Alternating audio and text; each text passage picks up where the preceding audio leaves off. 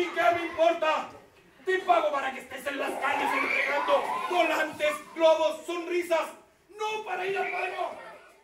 Lamentablemente estamos en, una, en, un, en un punto de, nuestra, de, de, la salud de los niños menores de 6 años, sobre todo muy crítico. Eh, hay niveles de obesidad en estos niños muy alto. Y eso nos lanza un mensaje que no tiene que ver con los niños, tiene que ver con los adultos, porque somos los adultos los que estamos a cargo de ellos, de su alimentación y del ejercicio, no sobre todo, no solo no solamente de lo que ellos ponen a su, en su boca, sino también de las actividades que hacen durante el día, de cómo nosotros promovemos su movimiento, su, las ganas de hacer cosas, cómo nos relacionamos con la actividad física que a veces es muy negativa. Nosotros desde la Seremia de Salud y en general desde el MIRSAL hace mucho rato que venimos trabajando estos temas, pero en el involucrarnos con el intersector a la hora de hablar de salud y hablarle a toda la comunidad. Y eso obviamente un grupo de gran relevancia para nosotros en cuanto a la prevención de enfermedades, obviamente son los niños, niñas y adolescentes.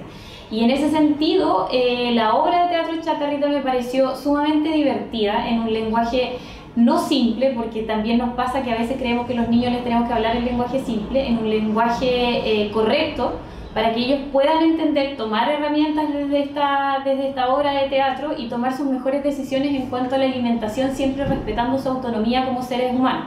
Yo creo que eso es algo trascendental para nosotros en salud. Nosotros en salud no obligamos a la gente a no hacer cosas. Lo que nosotros queremos es entregarle herramientas para que ellos tomen sus propias decisiones y esas decisiones sean las mejores en el contexto en que ellos viven. Yo creo que ahí también la obra tiene una, una cosa, un tinte fundamental que es no demonizar alimentos. Nombre de los que trabajamos en los hospitales, está la jefa ahí, la que cuida, previene, protege yo soy el tío que trabaja en los hospitales y yo no quiero ver a nadie en el hospital. Yo quiero jugar en el hospital, hacer fiestas en el hospital, quiero jugar al ping-pong, hacer deporte, quiero hacer esas cosas, pero no quiero ver niños enfermos.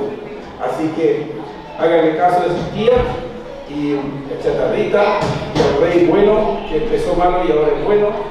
Así que los felicito y muchas, muchas gracias eh, porque todos hemos aprendido mucho es el enfoque interdisciplinario que presentan, donde esa mezcla entre, y más, incluso más que mezcla, esa, ese cruce, esa fusión entre distintas disciplinas, como puede ser el teatro, la música, sin duda enriquece y por qué no genera nuevos lenguajes. ¿ya? Eh, me gustaría también rescatar, y lo digo porque lo he vivenciado en términos personales, el foco eh, en, en, la familia, ¿no? en obras que Em, de alguna manera se abren a nuevos públicos, a públicos familiares, a públicos infantiles, como pasa con Chatarrita, y también a nuevas temáticas absolutamente vigentes, pero y que por lo mismo le hacen mucho sentido a la familia y a la comunidad.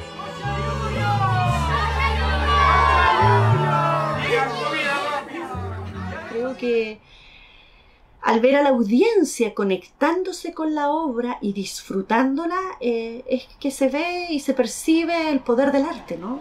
Los padres sienten culpa de haberlos traído